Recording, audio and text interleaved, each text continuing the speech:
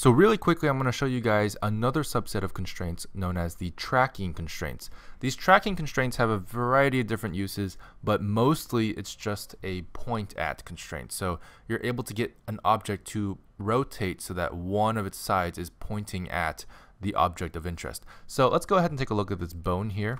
I'm going to add a bone constraint to this bone, and uh, let's go into the bone constraints tab, and we're going to add any of these tracking things here. Of course, we have a lot of different options here, and we're going to explore each and every single one of them. The one I like to use the most is damped track, and I'm just going to eyedropper tool this guy. And as you can see here, it's very intuitive. You just sort of make sure that this object continually points at the origin point of this object. So that's pretty cool.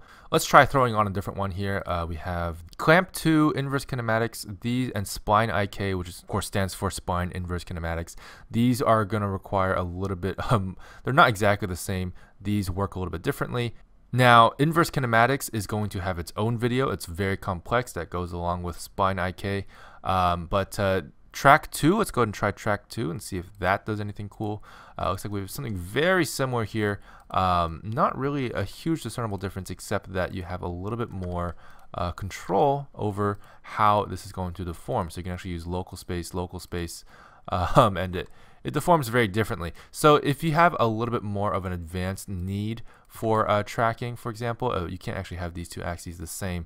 But yeah, if you have a little bit more of an advanced need somewhere in there that you can manipulate these uh, settings a little bit more to what you want, track to is the one to use. Now we also have stretch to which is actually pretty interesting of course.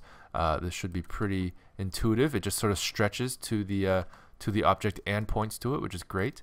Uh, that's also very helpful. So then we have locked track which is pretty interesting where you basically it tracks exactly the same way. It points to the object but if you notice it actually locks a single axis here. So you can actually just sort of lock uh, whatever axis you want, but it'll track along the other two.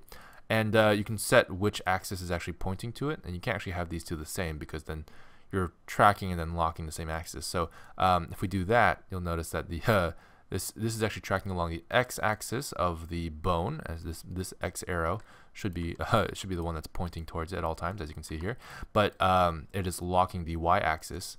You can also lock the z-axis so that it's technically using that, but only moving along there. So that's a pretty interesting way to do it. That's basically a track to and then a limit rotation. So that's a very helpful track as well. So that's the basics to tracking. Very, very simple. We're going to go into inverse kinematics and stuff like that later on. I do want to talk about this clamp to constraint. This clamp to constraint actually only works on curves. So uh, it only clamps to curves. So it won't actually clamp to this uh, cube here, as you can see here, says fail to set value. So if you want to use the clamp to, it basically makes it so that it follows the curve. So if we just add a Bezier curve right there with Shift A and then eyedropper tool that, you'll notice that it just sort of follows it now. It just kind of snaps to it, clamps to it, and then uh, uh, just works like so. So yeah, that is the clamp to constraint. Pretty simple and intuitive. But yeah, that's um that's the basics for the tracking constraints in Blender.